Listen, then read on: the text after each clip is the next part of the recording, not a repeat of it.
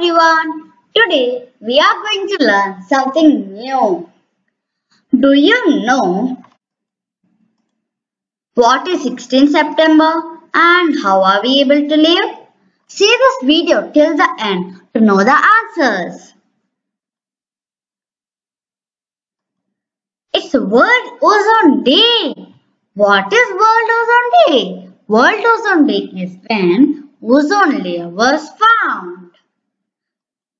Ozone layer is found by Charles Fabry and the date when it was found was 16 September 1913. Where is ozone layer located?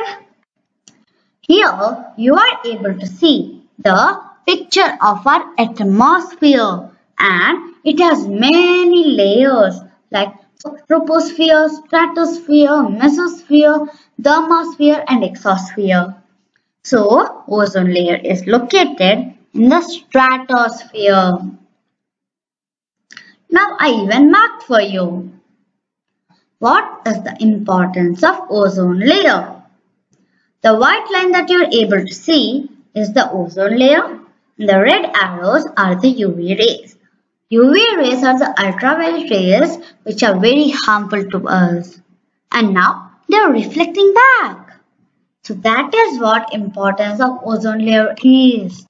UV rays are reflecting and not causing harm to us. And what is reflecting them? Ozone layer is.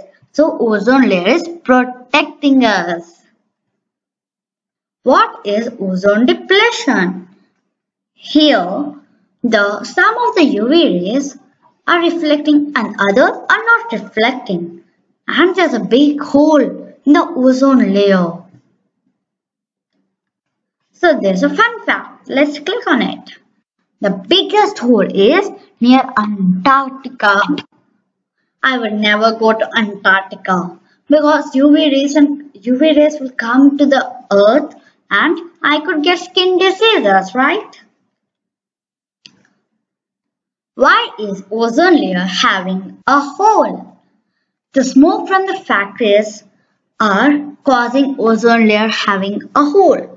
But the things that we use in our daily lives like refrigerators, pesticides, air conditioners and fire extinguishers also release some gases, gases which deplete the ozone layer.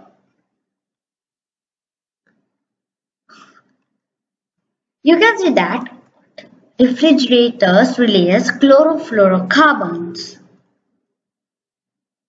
and air conditioner also releases chlorofluorocarbons. Pesticides release nitroxide and fire extinguisher releases carbon dioxide.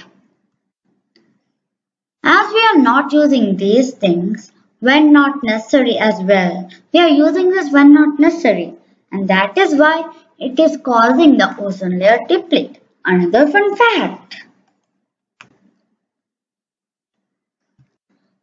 But during this lockdown, we the factories are not open and the vehicles are not running. That is why the uh, ozone layer is healing.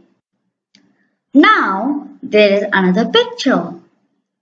Here uh, only some UV rays are not reflecting and only some only small hole is in the ozone layer compared to the big hole that we saw. So this is the only time we can say thank you to the ozone layer. So let's say thank you to ozone layer. Bye. And we don't forget that we got the answer of our questions. Bye.